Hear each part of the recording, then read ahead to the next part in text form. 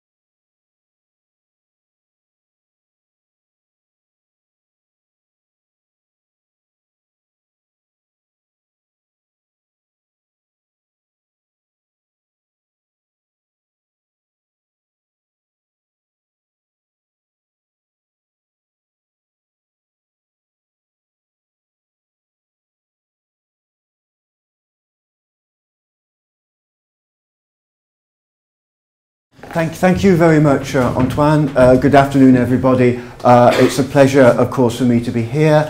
Um, I, I've known Antoine for quite some time. I was on, he, was reminding me earlier that the jury for his PhD defense, um, some time ago, clearly, and we've also co-authored papers together.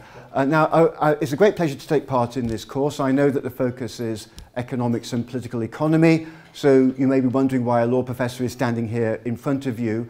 Well, sure. Um, when I did, I did my PhD um, in the University of Cambridge in the 1980s, um, I was co-supervised by a, a law professor and by an economist, uh, Frank Wilkinson, and I guess I come from the, the Cambridge school in that sense, the Cambridge Economics School, heterodox economics, political economy, I'm also interested in, in the economics of law, and I did spend a year at Chicago Law School as well in the mid-1980s, so I saw both sides of that debate. But when I came back from Chicago, I had not been converted into a Chicago school economist, I guess that, that was clear.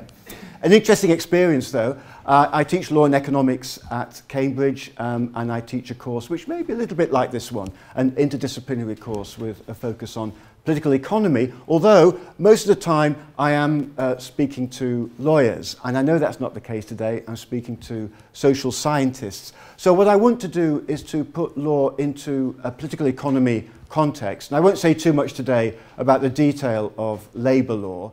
I want to look at wider trends in the economy relating to the labour market and to some degree the capital market. And I want to link those trends to inequality trends Uh, and I want to see what the relationship is between the institutional framework for labor on the one hand and capital on the other, and wider equality and inequality trends in um, economies, not just in the global north, but more generally. So I will be discussing the literature on um, inequality, uh, Piketty and Palmer, and linking that to work I and others have done, which attempts to well, let's say, benchmark or measure trends in um, legal regulation. How protective is labour law of workers' rights and how protective is company law of shareholder rights? My um, hypothesis here, my working hypothesis, is that the way the legal system protects the claims of different stakeholders inside the firm, workers, investors, creditors, has implications obviously for productive efficiency, but also for um, distribution and equality. And it's not difficult to see that in principle, when labour laws get stronger, we should expect to see a higher rate of return to labour. And we do more or less see that. But equally, when shareholder rights are strengthened, are we going to see a high rate of return to capital? Well, broadly speaking, yes. And over the past 20 to 30 years, there have been major changes in labour law and company law associated with, especially in company law, the rise of the shareholder value uh, approach within corporate governance, prioritizing the investor interest. That's led to major changes in the way firms are run. Uh, takeover bids became more common, beginning in America and Britain in the 1980s, less so in France and in so-called coordinated market economies, but still a trend. So the big change in law has been, and I'll explore this in a minute in more detail, company law becoming much more protective of shareholder rights, while labour law has not necessarily become less protective on the whole of worker rights, but relatively speaking, there's been a greater stress on shareholder protection. And I, I think this role of law in shaping returns to labour and capital has been a little bit underestimated in, in much of the inequality literature, and I want to develop that theme as I go along. So I'm going to talk about the dynamics of, uh, now I see this already hasn't worked. Okay, so I think I'm doing something wrong. I just tried to push the slide on, so am I in the wrong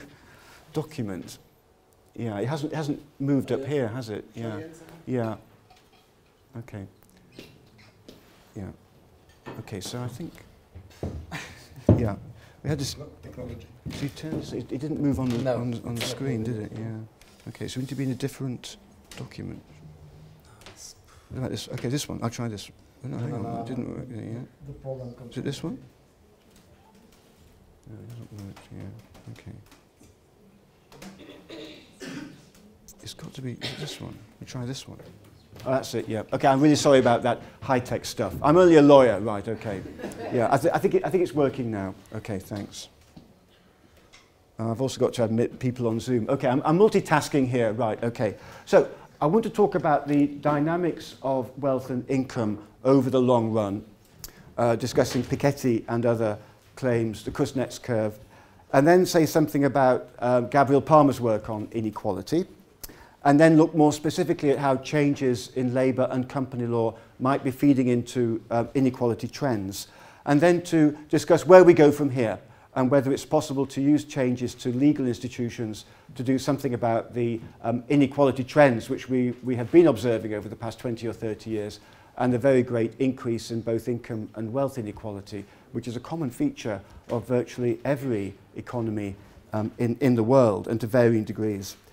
So let me begin by saying something about um, theories about inequality and capitalism, structural transformation theory, uh, Kuznets and Lewis. This maybe was the optimistic view of the 1950s and 1960s, that capitalism uh, over the long run should produce greater equality. Inequality ought to go down. Um, and this is associated with the notion of the, of the Kuznets curve here, um, the idea that in the early stages of industrialization, there is an increase in income inequality, which eventually is reversed. And this was the trend um, observed statistically by Simon Kuznets in the 1950s, although his studies only really covered a very small number of countries. However, these were some of the, the larger uh, liberal democracies at that point, the United States, France, Germany, also Sweden, were in his original data set. So he observed that in the early stages of industrialization, uh, there's an increase in income inequality. Pre-industrial societies are, in a sense, more equal than early industrial societies because nearly everybody by modern standards would be poor. That was Kuznets's idea. You would have a kind of caste right at the top, the monarchy, maybe priests, a few other noble, noble people but the vast majority of people are equal with each other and mean relatively poor. Industrialization creates a bourgeois class, and this middle class pulls away from uh, a working class or proletariat. And so uh, early industrialization in Western Europe, in North America, produces rising inequality. So inequality is going up as economic development begins. But after a certain point, identified as the middle of the 20th century in Kuznets' original data set, this, this trend is reversed, so equality uh, improves, inequality goes down. Now, of course, since 1970, this is Piketty's bit of the curve, uh, inequality begins to go back up again from 1970 or so onwards. So we now know what Kuznets uh, didn't really know, couldn't have known, which is that the reversal of inequality trends isn't permanent within capitalism. So it can't be a fundamental feature of capitalism. Something else is going on. There may be particular phases within capitalism, but capitalism doesn't necessarily produce over time uh, greater equality. We know that. Uh, why would equality, however, have increased in the middle of the 20th century in the global north at any rate? Arthur Lewis and also to some degree Kuznets are both arguing that there's an internal dynamic um, within capitalism. Um, it produces a working class, and after a certain period of time, that class has the possibility of achieving power, uh, maybe through the ballot box. Okay, so capitalism leads to industrialization, uh, the growth of a wage-earning class at some point. If the political conditions are right, then that wage-earning class can, through the institutions of liberal parliamentary democracy, press for the things that will protect it, labor law being one of them. laws protecting the right to collective bargaining and freedom of association, laws protecting the right to strike, health and safety laws, a social insurance system which protects workers against risks inherent to wage dependence, risks of unemployment, risks of ill health, industrial injury and disease. This is what labour law basically does. It manages risks which are inherent in the labour market status of being wage dependent of having no direct access to the means of production in a capitalist society that describes nearly everybody. Right. So in the middle of the 20th century, certainly practically everybody in a capitalist market economy is wage dependent to some degree. There might be a rentier class that lives purely on income from shares or from some other sort of rent, but by the middle of the 20th century, this is quite a small group, and many of them are also working. Yes, of course, there are people like, okay, the latter-day monarchs, right, used to get the Queen of England, now we have a king, of course, or Emperor Franz Joseph of the Austro-Hungarian Empire, who famously described himself as a self-employed civil servant, right. Even the monarchy worked, right, um, at the high point of this model, or maybe a bit before in the case of Franz Joseph. So nearly everybody is dependent on wages to some degree, everybody is excluded to that extent from the means of production which are institutionally held Okay? There may be individual capitalists, but shareholders from the middle of the 20th century are institutions, by and large, not families. J.K. Galbraith made this point in his various works. From the middle of the 20th century onwards, it's no longer the individual or the family that's really the shareholder, but the investment fund, the pension fund, and in some cases, uh, state institutions as well. Everything is institutionalized and collectivized. Uh, the main beneficiaries of corporate governance, in a sense, would be pensioners uh, beneficiaries of pension funds and owners of investments in mutual funds, savings and insurance, who are also workers or have retired from the labour market. So this is a mid-20th mid century picture that wage dependence creates a working class, which is quite large in some respects, and creates, you might say, a common interest across this class, both a middle class, a bourgeoisie, and a pure wage earning class have a common interest in the institutions of the welfare state, social insurance, collective bargaining, Uh, we have middle class trade unions, white collar trade unions, and this puts pressure upon governments to enact laws to uh, protect workers' rights, and, and that's how we get labour law. And over time, there's a compression of the income scale and also eventually some redistribution of wealth at the level of assets. Distinguishing between income and wealth is, of course, important, and we tend to have rather more data on income than we do on wealth, although Piketty's key contribution, as I see it, is to have looked at wealth and assets and not just at income. That was important. Am I going at the right speed for everybody? Yes? Is this more or less okay? Okay. And I will carry on until uh, either you stop me or I get to the end. But I'm not quite sure what your convention is. If you have questions, maybe we can deal with them as we go along. Uh, or if there are no questions, I'll just carry on. Yeah? I know we have time for discussion later as well. So this is structural transformation theory. It's endogenous to capitalism. Capitalism produces a working class. There are institutions of liberal democracy. They begin by protecting property rights, sure, Uh, the rights of a bourgeois class, but eventually they can confer rights upon everybody, and you, you get some kind of wage earner, wage earner democracy, a phrase used actually about Germany, West Germany in the middle of the 20th century, a wage earner democracy, that's what you get. So this is a, a, a process which is somehow endogenous to capitalist development, and Kuznets thought it was more or less permanent. So capitalism produces more equality over time, and a liberal democracy can be conjoined to the welfare state, but you still have capitalism. Okay. So in some ways, this is a, an optimistic story for maybe a more optimistic period than our own. Sure, this was in France the period of uh, what Les Trente Glorieuses, um, or in other contexts, a so-called golden age between about 1950 and 1980 of continuous improvements in economic growth, productivity, in certain parts anyway of the global north France, Germany, the US, the UK, all experienced this period of relative stability. Now, um, Piketty and others were already observing, uh, even before the publication of Piketty's two main books, that this, this trend went into reverse at some point.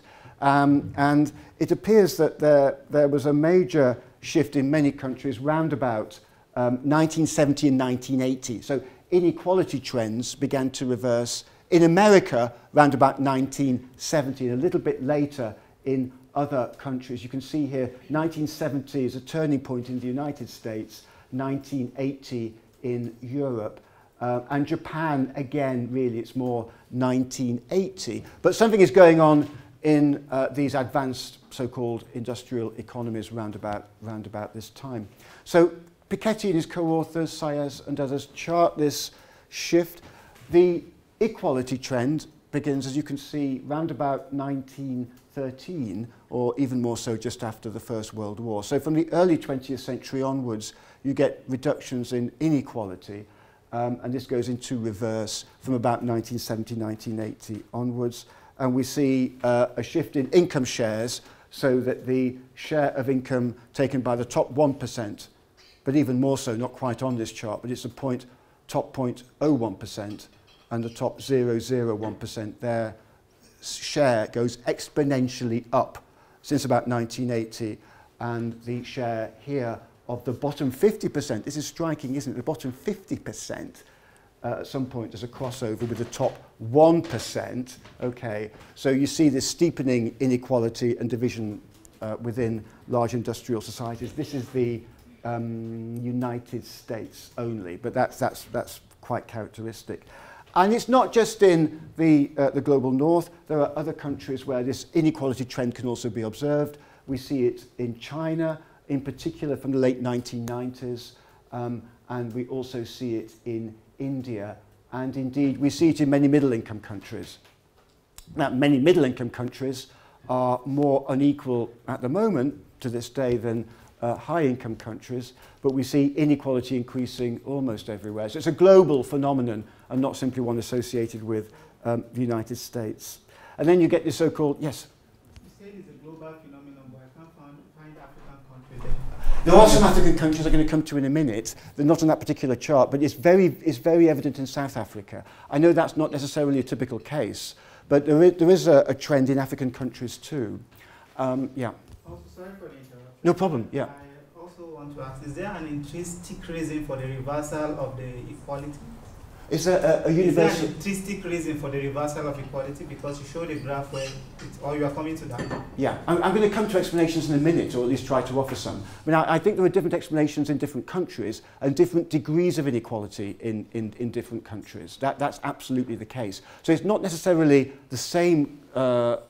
set of factors that's leading to an increase in inequality. But I think all countries are affected, to, to answer your question more directly. Okay, all countries are affected by globalization and all countries are affected by neoliberal policies. Um, but there is a, a distinct pattern in the uh, middle income countries compared to the um, earlier industrializing countries, which this so called um, elephant curve um, reveals. This may be partly to answer your question that um, what we see in the wealthier countries, um, okay, this is US and Western Europe, the countries which enjoyed the 30 glorious years of economic growth, um, what we see is this so-called squeezed bottom 90%. So globalization and the, well, this is from uh, Piketty and Milanovic, this kind of elephant curve that you see. Um, what we see thanks to globalization is the rise everywhere of a middle class And this middle class means that in so-called emerging economies, middle-income countries, we actually see um, an increase in income levels in real terms, but is going down in Western Europe. And this is partly the consequence, again, of, this is globalization. So globalization producing economic growth in middle-income countries and also in low-income countries, but it's mainly a middle-income country phenomenon. This leads to a global redistribution of wealth in favour of middle income countries and in favour of the global south. Right. So in, in that particular context, the rise of a middle class uh, is seen in, in very positive terms. However, in many of these countries, South Africa, almost everywhere in South America, even though you see the middle class growing, you also see uh, uh wealth inequalities and income inequalities growing because there's a segment of very, very high earners and very, very wealthy households right at the top in middle-income countries. So you see a big middle class growing in the um, non-European, non-North American world, but in Europe and North America, we see a relative decline. And this may help to explain part of the political fallout in Western Europe and North America, the reaction to the loss of security, loss of stability, and, and relative privilege of the middle class in Europe and North America, I think we can see in, in Trump, in Brexit, in some of the political fallout from that. But this is not true of middle-income countries in the same sense. In the middle-income countries, a different dynamic, growing middle class and increasing prosperity and wealth, but this very high uh, inequality, this stratospheric inequality the top 1% and 0.1% and 0.001%, this is everywhere. Right, so in America, in Brazil, in South Africa, in all these countries, you get exponentially increasing incomes right at the top. But I think politically, maybe it's a different phenomenon in a country like Brazil or South Africa to the phenomenon we observe in a country like France or Germany or the UK, where I think there's a, a clearer backlash from a middle class that sees its position deteriorating. So it's not exactly the same picture. And again, this wouldn't apply to all African countries. Not all African countries are at the same level of industrialization or development, for example, as South Africa is or Nigeria is. So it's, it's a different situation. Some are low-income countries, which are not significantly growing at all. Okay, does that help to address your question? Yeah, thank you. Yeah. So, so this, this is what we see. Globalization, um, and globalization implies a number of things. Um, obviously, uh, opening up of trade and um, competition for both labour and capital on a global scale. Also, to some degree, a race to the bottom in regulatory standards. So globalisation is very much on the terms initially set out by the World Trade Organization, and labour laws and regulations are seen as a distortion of competition and potentially um, hindering uh, trade, so-called non-tariff barriers to trade. So globalization doesn't, doesn't just produce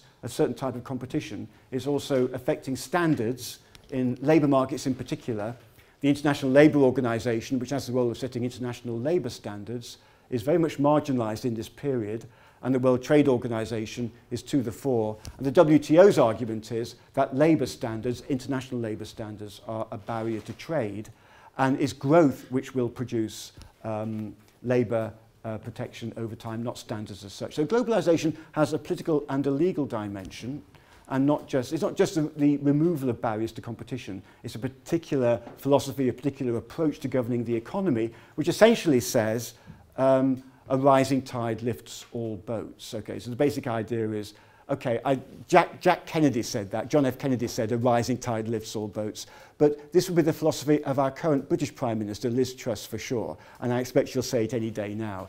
Um, as, as of two weeks ago, of course, you will have seen that economic policy in the UK radically changed and we now want growth, growth, growth. But Truss is explicit that more inequality will produce growth.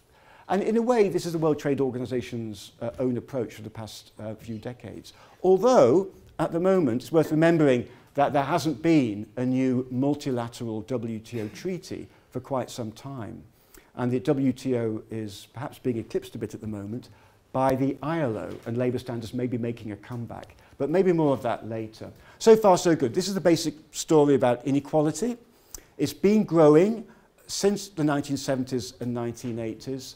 Uh, what's driving it? Partly globalization, um, that has led to some, to some extent a narrowing of the gap between uh, the middle income or global south world and the global north world, but in every country uh, rising, uh, rising inequality.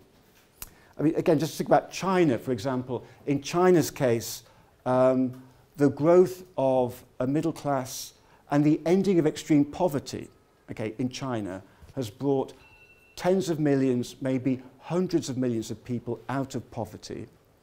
And this has led to a fall in the global uh, Gini coefficient, according to some people. Right? So the, the global Gini, the global inequality measure, has been going down since about 2011, just because hundreds of millions of people in China have been taken out of extreme poverty. So there's been a narrowing of the gap.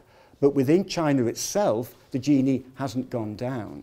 Because within China itself, there is such extreme inequality right at the top that China's own national Gini is still going up. So there are some paradoxical effects here. It's not quite true to say that the global Gini is still going up. This, of course, could, could be reversed in time as well, because it's almost like a one-off effect. You take hundreds of millions of people out of poverty in one country. That's what China achieved. I expect the global Gini to start going back up again unless there are institutional changes at a global level of, of some sort. Now, Piketty's um, explanation for this um, you, you, you probably know, is that it's all to do with growth. Um, and that he argued that capitalism This is the opposite of Kuznets's claim. Capitalism has a fundamental dynamic which produces inequality, and this is to do with his argument about the relationship between capital returns and labour returns. And he argues at some length in his first book, Capital in the 21st Century, that returns to capital have a natural tendency to increase over time, um, as long as a market economy or a capitalist economy is stable. Right? And he says the only way you'll avoid this perpetual increase in inequality is, well, one solution would be more growth. Right? So he says growth tends to increase returns to labour compared to capital. So a period of slow growth, he argued, is a period of increasing inequality because of this dynamic. Um, these are some of his claims.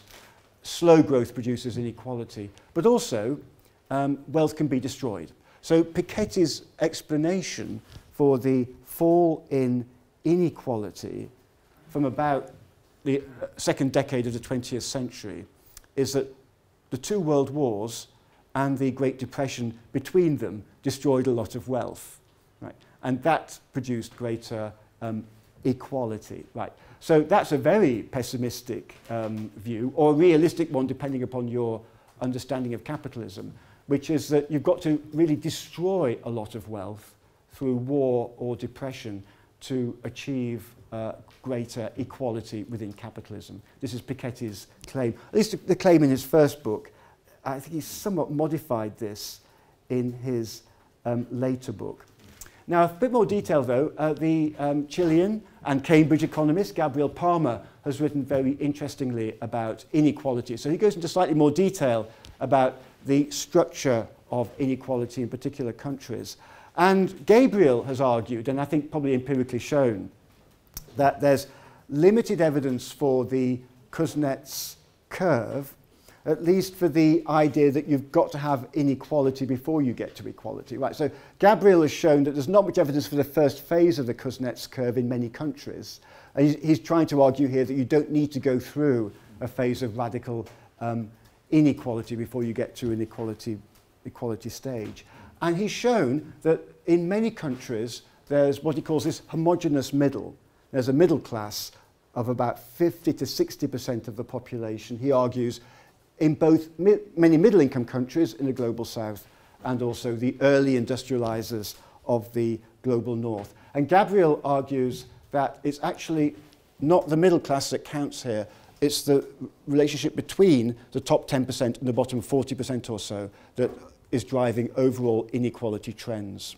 So he wants us to focus on the people right at the top, how far ahead are they of the middle class, and a large body of what he calls the working class, uh, people who are wage dependent but may be employed in precarious work, in the informal economy, do not have, do not have regular access to an employment contract perhaps, um, do not have a pension, do not have that type of income security or insurance-based security. Uh, where does that bottom 40 or 50% stand in relation to the other two groups? So the Palmer ratio is this ratio of the income share, the top 10%, to the bottom 40%. Um, and some of Gabriel's figures, I think, are quite, quite interesting. Um, and what you can see from this, this is just Gini, this is Gini coefficients again, but you see there are some countries which are extremely unequal and some which are less so. So it is the case that a country like France, okay, most EU countries are uh, less unequal um, than countries uh, we might describe as middle income countries. Okay, right at the top, we see countries like Brazil, but also Hong Kong and China and India and also South Africa. So South America is uh, a region characterized by extreme inequality by and large. And so is South Africa itself. Um, despite the end of apartheid, uh, South Africa has remained an extremely unequal country.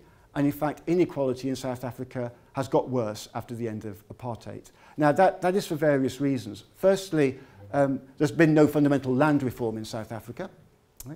Uh, so there has been a shift in political institutions, but not yet in social institutions. There has been an attempt to build a large black uh, middle class, but that has only gone so far.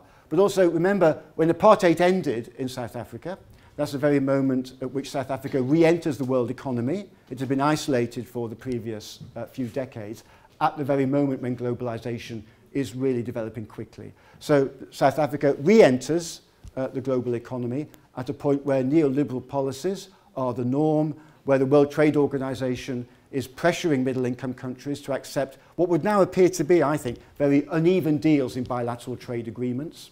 Um, South Africa suddenly finds that its industries in areas like textiles and clothing, which had been successful, are being undercut by even more competitive or at least low-wage economies in the Southern Africa region. Consistently with World Trade Organization philosophy, South Africa creates an internal market in sub-Saharan Africa, in the southern part of Africa, and immediately capital leaves South Africa and goes to Lesotho and Swaziland and Mozambique, where wages are even lower, and there's actually deindustrialization in South Africa. So a number of things are driving South Africa's extreme um, inequality performance. Uh, again, if we look at countries in South America, uh, Brazil, uh, Argentina, to a certain degree, uh, Chile, other countries, we see the top 10% taking a very significant share of national income. So it's this, uh, this system in South America which appears to be able to preserve the extreme inequality between a rather small elite right at the top and everybody else, which is striking about the South American model and the South African one too, which we don't observe in Western Europe or even in the United States to anything like the same, the same degree. So Gabriel has this interesting chart about Finland and Uruguay And he points out that the, uh, the, the middle class um, is approximately the same size, or the share of what he calls a middle and upper middle in Uruguay is the same as in Finland. But the reason Uruguay is not as e-, egalitarian as Finland is this D10 section, people right at the top.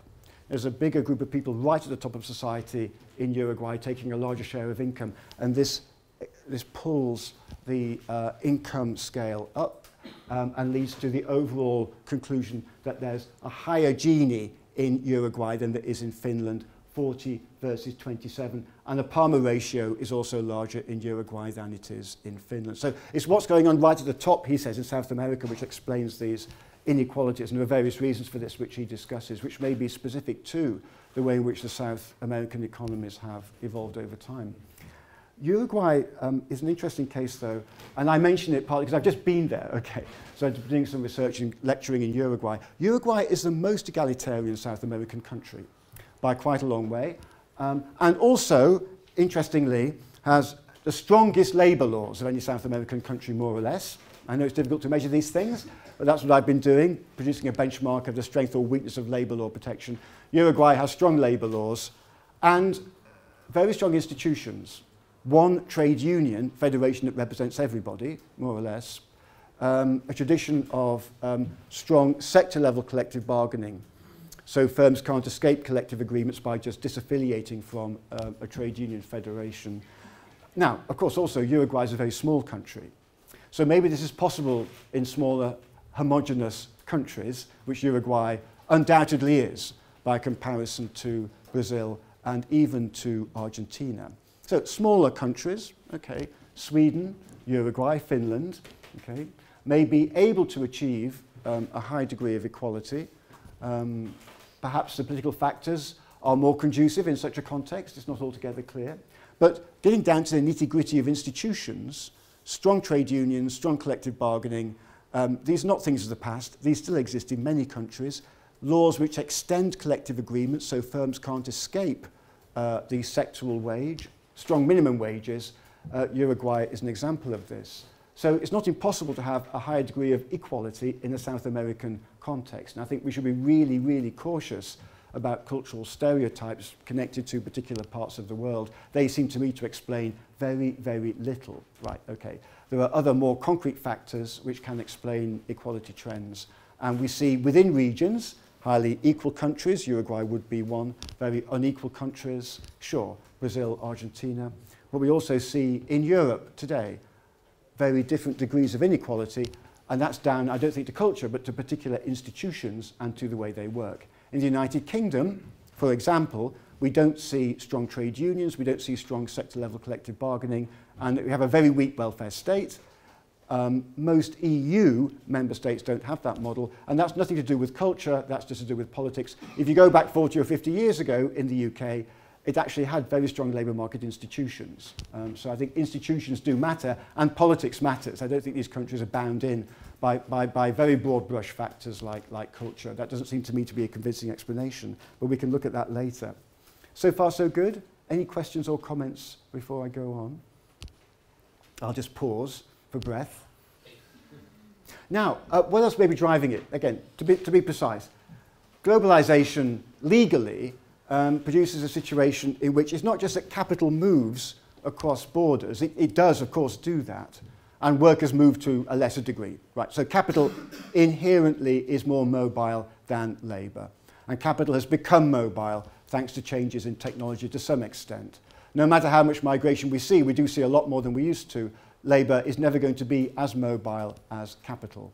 But we also see some other features of globalization which are really nothing at all to do with capital flows, or at least with uh, anything really moving. But we see jurisdictional and legal changes which can benefit capital without the capital even shifting. Okay, so your, your capital, um, however we wish to define it, okay, whether we talk about productive assets, whether we talk about money or finance, maybe doesn't even need to move in any real physical sense, but can take advantage of low-cost jurisdictions, thanks to the technique lawyers call private international law or conflict of laws, the legal jurisdiction governing the management of capital can be quite other than the physical place in which plant is located, or for that matter, in which a particular bank deposit is held.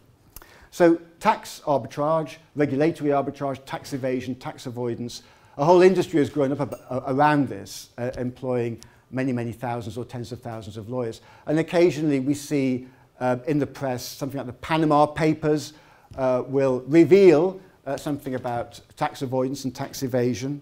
The sheer scale of it, though, um, is, is extraordinary, and it has been increasing as a consequence of globalization, or is one feature of globalization, that I think we're beginning to understand more of. So Gabriel Zuckman, uh, along with Piketty and Sayers and others working as part of this group, have been looking at the extent to which financial wealth is hidden in contemporary capitalism, holding wealth offshore, uh, concealing it from regulatory authorities, so it's beyond the scope of taxation, interestingly, he says, not much in the United States. Now, we might think of the United States as an unequal society by comparison to many in the EU, but America has a very effective fiscal regime, which may be why this figure of 4% here is so low. 4% held uh, abroad, 10% in Europe, higher. 22% of wealth is held offshore, he says, in Latin American countries, even higher in Africa, 30%, extraordinarily high in the Gulf and in Russia. Right, so wealth is being held offshore, and that requires a legal system to engineer this, to hide the wealth, to conceal the wealth, to make sure regulatory authorities can't reach it. And legally, um, the principle of mutual recognition here is very important. It basically means that one legal system may recognize the legal determination made by another. This begins in areas like family law, where there might be mutual recognition of marriages, or company law, where you recognize an incorporation of a company in another state. But increasingly, it also means that you, you, you respect the right of another state to assert jurisdictional control over assets, even if those assets are held on your territory. So mutual recognition implies a radical kind of deterritorialization. And when you add to that the sense in which the corporate form has been fissured, people say, or fragmented, parent-subsidiary relationships, often um, in economics, of course, in, in social sciences, we think of the enterprise or the business firm as a unity, but a lawyer would be accustomed to regarding nearly every enterprise that we observe as actually a multi-corporate enterprise. There are many legal persons, companies with, within a given enterprise, and multinational companies in particular, yeah.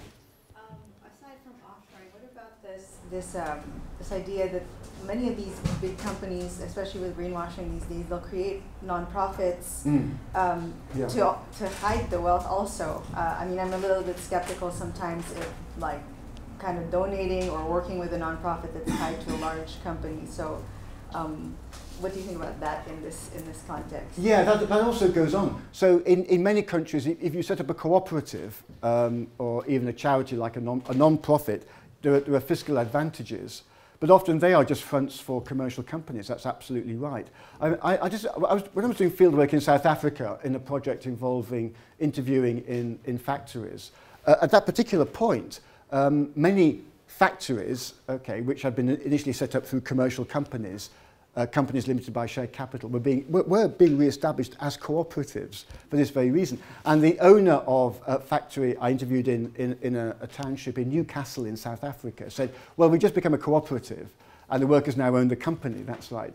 Uh, but actually, of course, they, they were still under the control of this. He really was an owner at a time when he's, in fact, running a, a textile mill in, in, in a South African township. That was a common pattern to investment from Taiwan into South Africa. That began in the apartheid period when South Africa and Taiwan were able to trade with each other, but with very few other countries. So that's just one example. You get this use as a cooperative form sometimes to conceal what's really still basically a profit-orientated operation. But it's, it's, it's, it's not just that. Okay, take another example.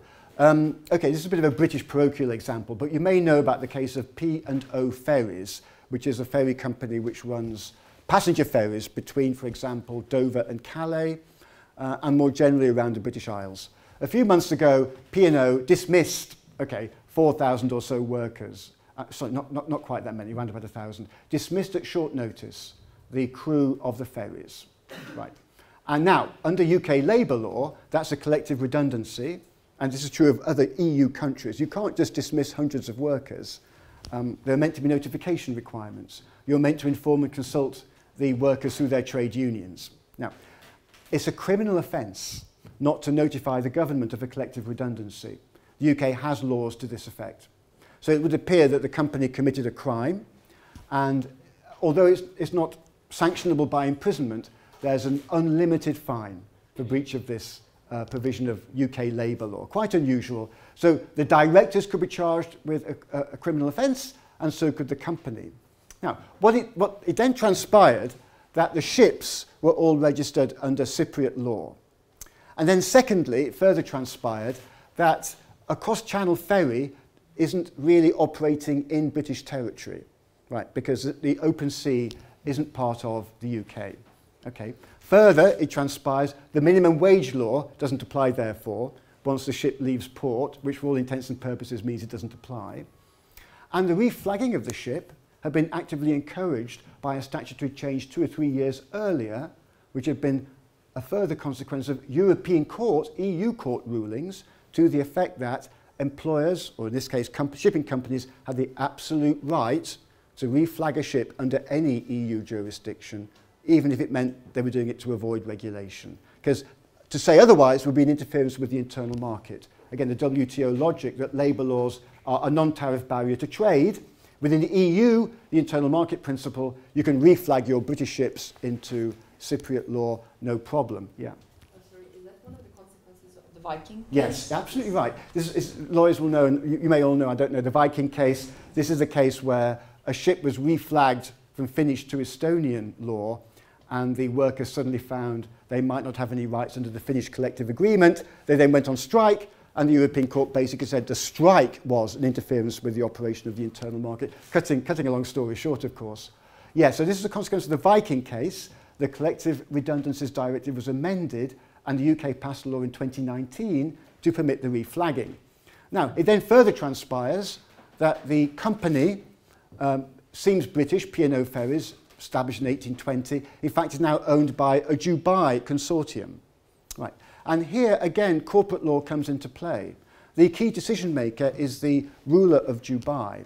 He is the main shareholder in a holding company which owns P&O Ferries. But any criminal offence committed by the company, remember, would not be committed by the shareholder. So he's absolutely secure, even though most likely the Dubai owners were taking these decisions to dismiss several hundred workers. Why did they dismiss them? In order the next day to employ agency staff on a fraction of the wage. So they had been observing a UK collective agreement. Um, under UK law, a collective agreement is not a legally binding contract. You can get out of it by, in this case, dismissing the workers, which is what they did. They employ agency workers on a fraction of the wage formerly being paid. They are employed via a Jersey registered company. Okay, the Channel Islands are in one sense part of the UK, but in another sense not. Right, they're separate legal jurisdictions, again, not falling under UK labour law. Now, that example is just one, one case we could, we could think about where you see legal fishing of the enterprise, not just parent-subsidiary relationships, but different jurisdictions applying to work done, not even on, well, even in UK territory, Okay, it might not be UK law governing the situation, but as soon as the ship leaves the port, it's not clear. And the government actively, I think, encouraging this process. They knew this would happen when the laws were changed in 2019. Now the government says, well, maybe we'll bring a prosecution against the company because they failed to notify the Cypriot government. That was what they said. But then uh, they looked into it and a QC, now senior lawyer, looked into it. So, well, we're not quite clear mm -hmm. that it's a crime to fail to notify the Cypriot authorities. It would have been to fail to notify the British ones. So this is how law works in an era of globalization. It permits this kind of legal fragmentation and deterritorialization of law. And I think this is partly what's driving the hiding and extracting of wealth.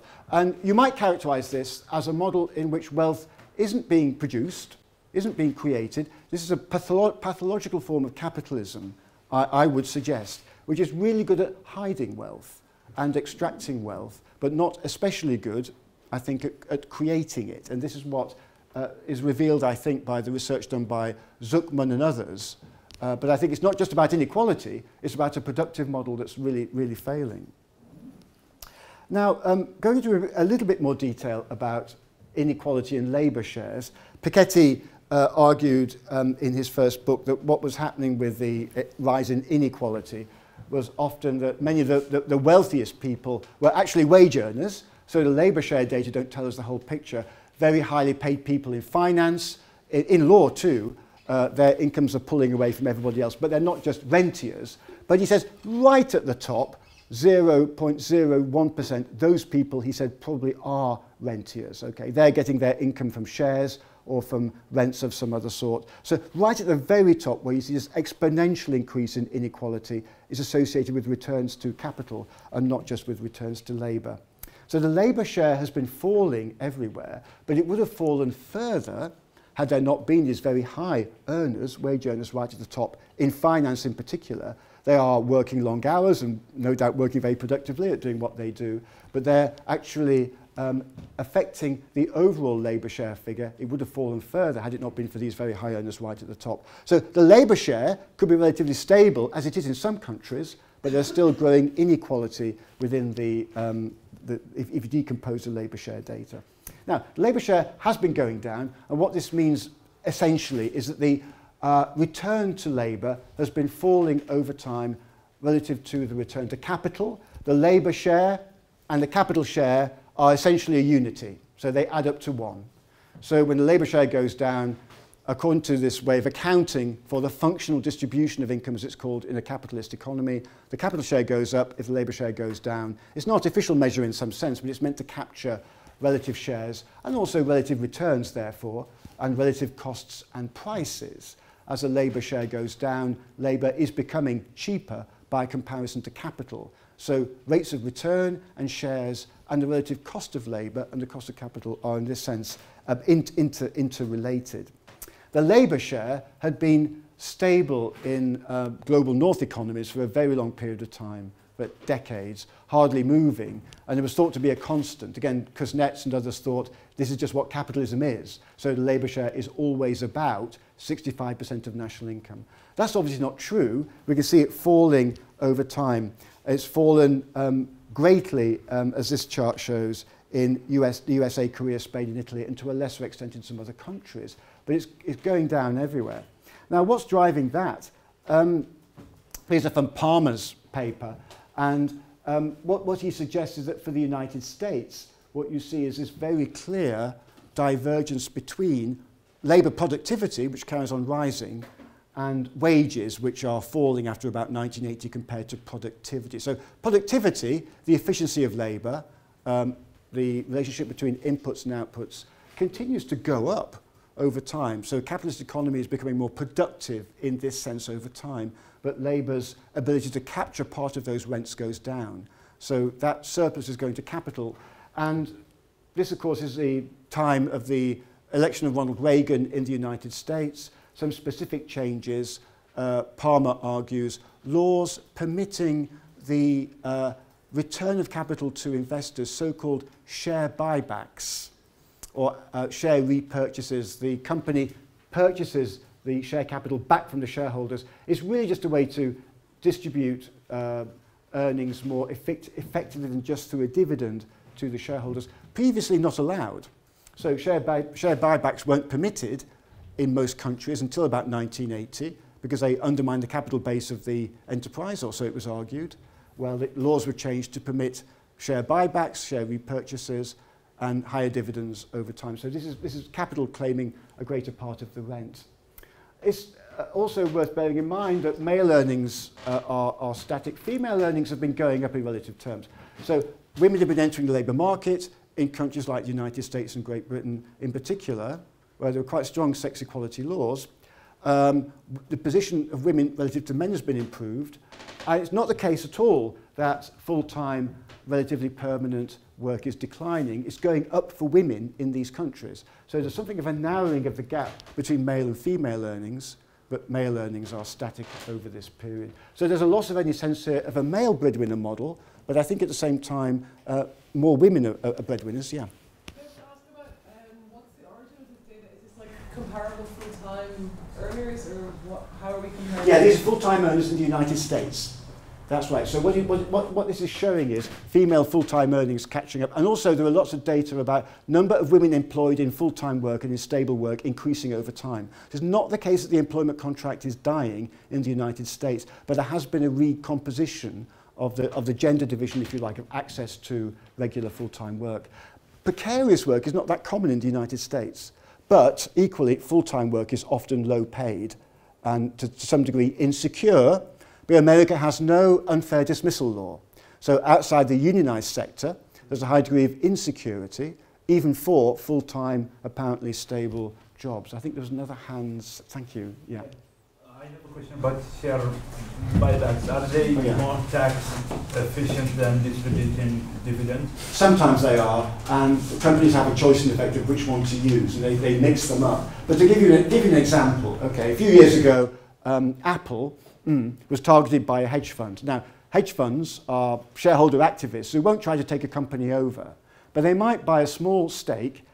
and then engage in a campaign to try to pressure the company to do a number of things. They call it returning capital. What they really want is asset sales, redundancies, they're often open about this, releasing capital as workers are dismissed and assets are sold, higher dividends and or a share buyback. You often see them both mixed up. Now, Apple perhaps the most successful corporation in the world then and now, a few years ago, was targeted by a very small hedge fund. And they could just have said, we're not interested. And I think if Jobs had been still in charge, it was after he died. The company had new managers, effectively not so much technologists, more people who would manage Apple as a shareholder-owned concern. So the board said, okay, we understand this demand for um, share buybacks, but most of our profits are held overseas so we can't easily repatriate them for tax reasons. So what they then did was extraordinary. They um, issued bonds, form of corporate debt, to the market to raise money to pay the shareholders what would have been like a, sh a share buyback. And it, and it was billions and billions of dollars. It's completely extraordinary that they did that. Now, drawing a link between that and arguments that Apple has become less technologically innovative, it's very hard to do that to show causation.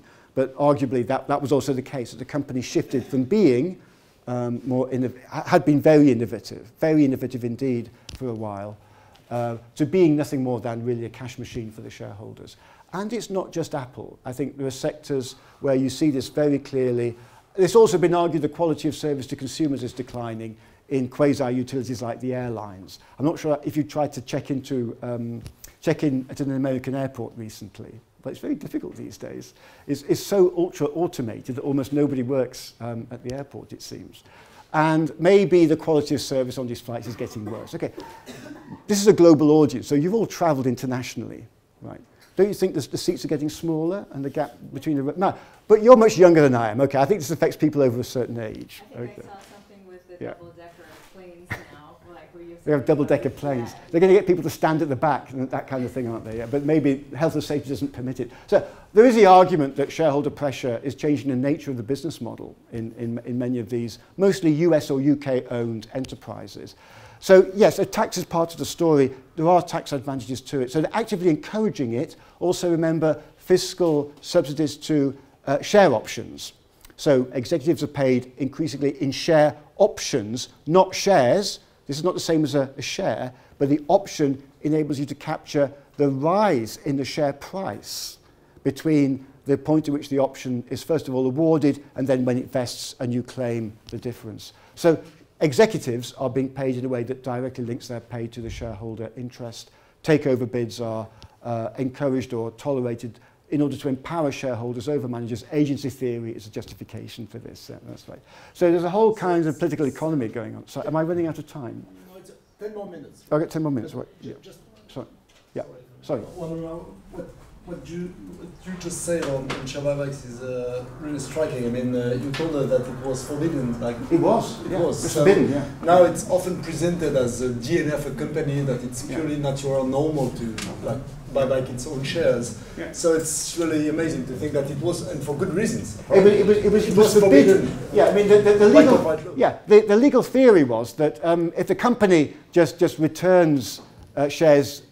in, in this way, is purchasing the share capital, is using its retained earnings to do so.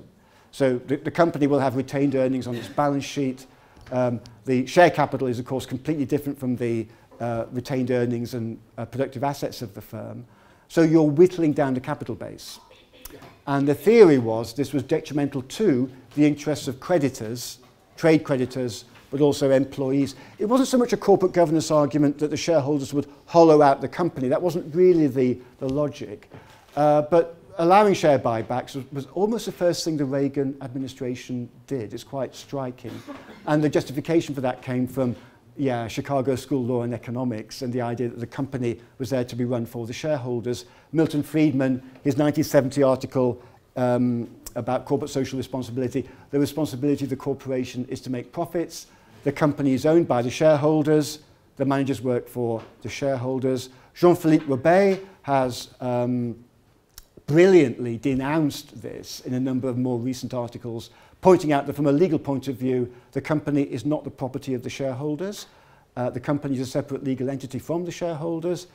The shareholders own their shares, not the assets. There are so many, well, Robay would say basic legal mistakes, actually, in Friedman's famous article. And from there, however, comes the idea that the managers must work for the shareholders. Now, a lawyer would say this is very far from being the reality of the way the company is structured, and it's structured that way for a reason. The shareholders have protection from claims brought by debtors against the corporate assets. They have protection against risk because of the way the company is structured. They can't turn around also and say, we own the company, although they often do make that claim.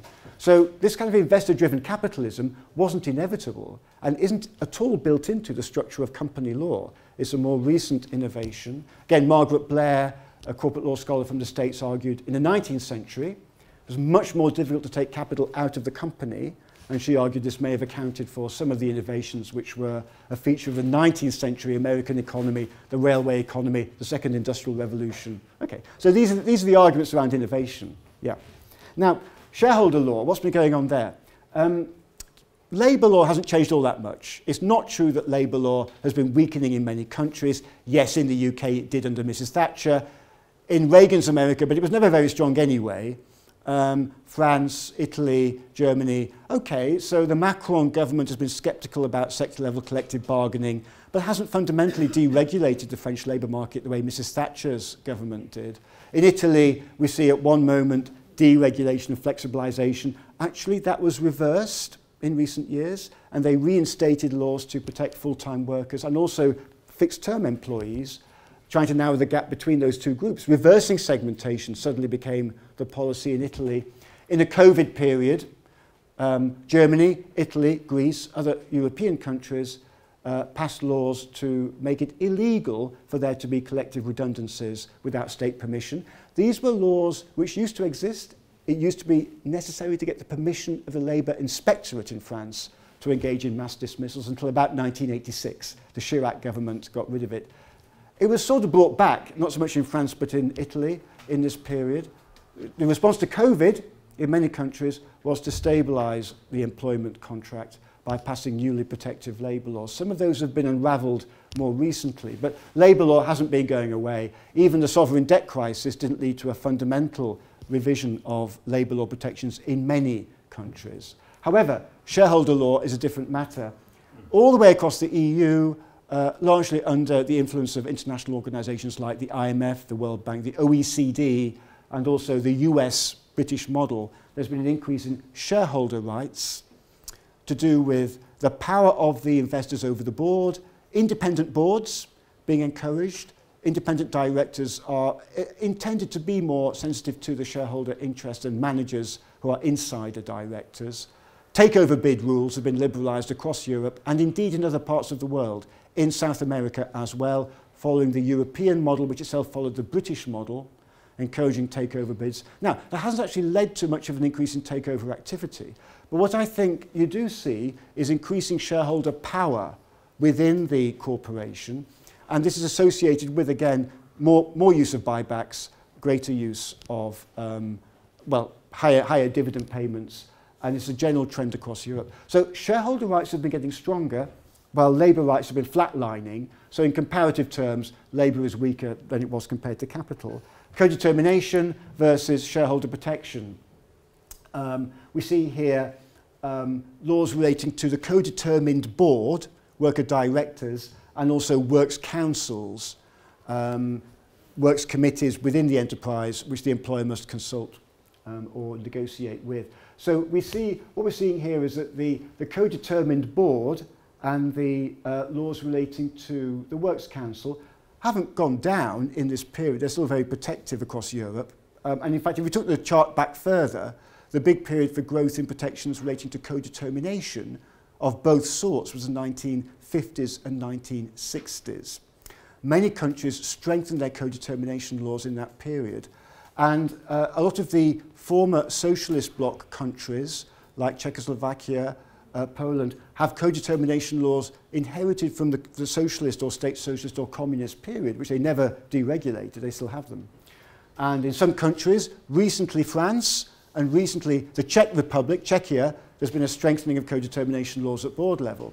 What we also see, though, are these dramatic changes in protection of shareholders in relation to um, independent boards.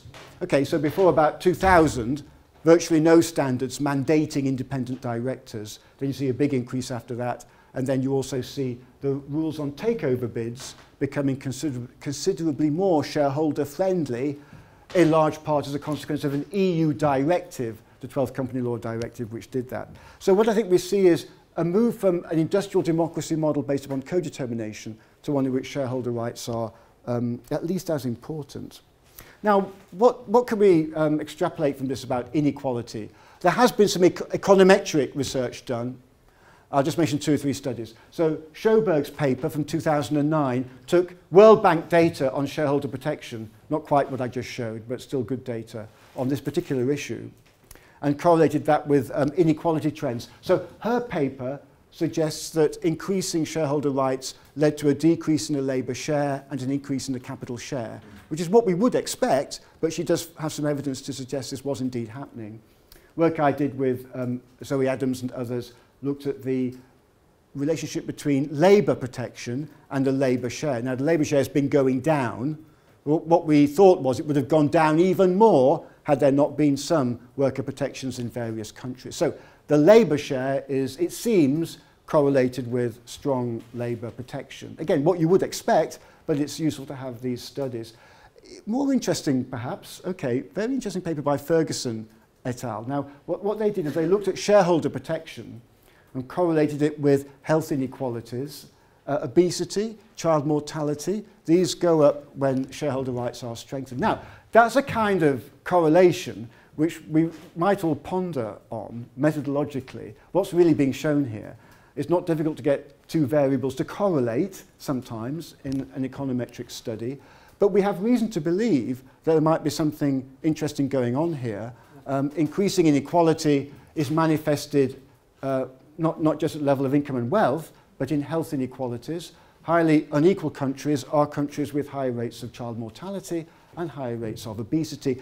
And now that's reason for that's been much discussed, but there is a, a body of work in uh, social psychology and evolutionary psychology which argues that um, we are very much affected at a level of mental health and stress by persistent inequalities. And it's not, it's not good enough to say the rising tide lifts all boats. A very unequal society tends to be one with very high levels of mental stress on all sides. Um, I was reading a, an evolutionary psychology paper where the author argued even the wealthy are unhappy in a very unequal society. Now, okay, now you may think that we don't, we don't care too much about the top 0.01%.